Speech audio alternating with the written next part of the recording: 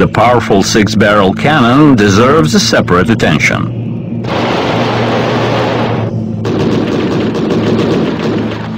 There was even a concern that the recoil may stop the aircraft in the air. This of course did not happen, however at first the cannon used to impact not only the target but the aircraft itself. Shooting produced gas dynamic disturbance that troubled the engine.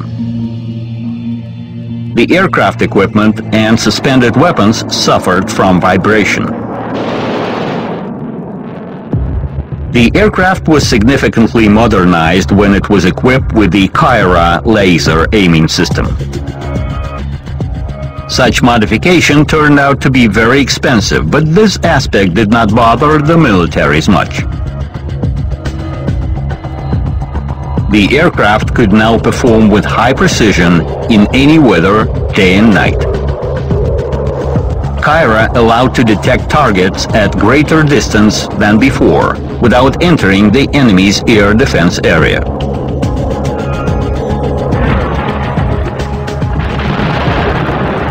Besides, this gave not only a passive chance to escape means of air defense, but actively attack them. The aircraft's arsenal included Kh-27 missiles aimed at destroying enemy's radars. MiG-27 was also equipped with heavy Kh-29 missiles which were used to destroy concrete runways and reinforced structures.